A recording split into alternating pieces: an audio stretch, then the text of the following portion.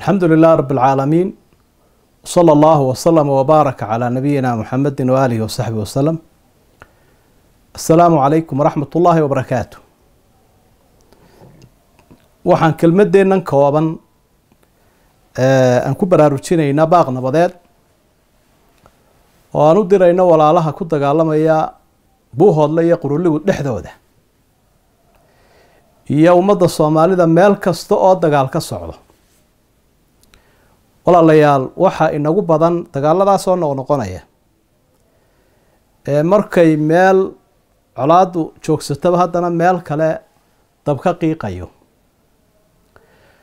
Waxaynu odhan karnaa waa wax ummaddeenu ay ka horumari kari weyday dagaaladaa ku ku salaysan qabyaaladda marba qabyaaladda wax soo raacaba.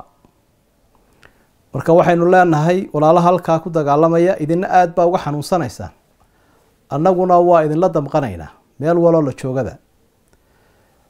Intaana culimadana waa lala hadlayaa maa ka hadashaan baa mar walba la leeyahy xataa qolyaha dagaalamaya laftigooda le maa ka hadashaan. Marka waxaynu leenahay ilaahay ka cabsada. Qof walibana ha ogaada adduunkan markuu ka ambabaxo ee uu ka tago inaanu ehelkiisa iyo qabiilkiisa iyo adduunkiisa midna raacayn. Wuxuu aakhiro tegaya isagoo keliya falaa ansaaba baynahum yowmaidin walaa yatasaa'aluun maalintaa abtirsiima ma jirta buu ilaha yidhi waxna iswaraysan kari maayaan dadkii halkaa yimi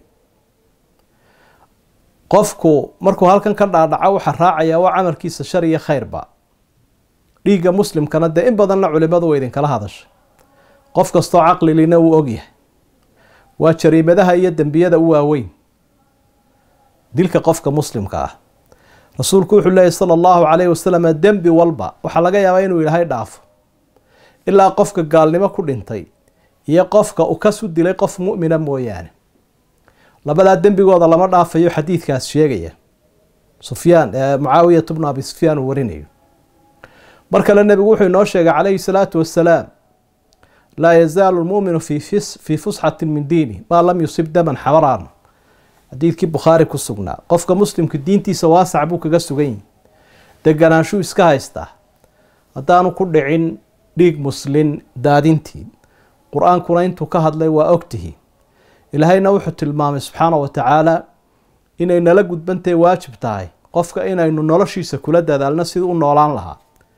Laakiin aan loo dhammaynin sidii adduunka loo dhaafin lahaa min ajli dalika katabna calaa bani israa'iila annahu man qatala nafsa bigayri nafsin aw fasaadin fi lardi fakaanamaa qatala annaasa jamiica waman axyaaha fakaanamaa axya annaasa jamiica qofka qof dilaha dadkii oo dhan buu wada laayay qofka qof nooleeyaana wuxuu ka dhigan yahay dadkii oo dhan inuu wada nooleeyey adduunka halkaa inaga baxayaa xoogaa iyo xoolahaas maanta wuxuu istaahilaa in loogu hiiliyo o laysku barbartaago walaalaheenna ilaahay inta ka sokaysa cid iyo ciirsila ee caalamka lagu adoonsanayo gaaladu ay dhibaysay reer falastiin ay ka mid yihiin. Kuwaasaa tamartaa maanta u baahnaa. Marka waxaynu leenahay ku celcelinaynaa ilaahay ka cabsada dhibkaasina ha la joojiyo. Waxaanaan rajaynayaa inuu intaa inaga egaado insha allahu. Waana u ducaynaynaa ciddii aqbasha baaqaa isaga ah. Ciddii kalena allaha soo hanuuniya baynu leenahay dadka acyaanta ah ee tiifiyada iyo baraha bulshada ka hadlayana iyo dadka shaqada ku howlan iclaamkana waxaynu leenahay kelmadda xune halkaa ka tidhaahdaana dee way idin xisaabsan tahay kelmadda wanaagsanina way xisaabsan tahay kelmad la mahadiye mid la eedayna way jirtaa. Marka haddii dadka qaarkood baa ku baaqeen nabad inta kalena waa inay ayido aada iyo aad baan idinku mahadnaqaya allah idin barakeeyo quluubteennana allaha isu jeediyo khilaafkana allah inaga dhex saaro. Garab iyo gaashaan inaynu isu nahayna allah ina garansiiyo. Wasalaamu calaykum waraxmat ullaahi wabarakaatu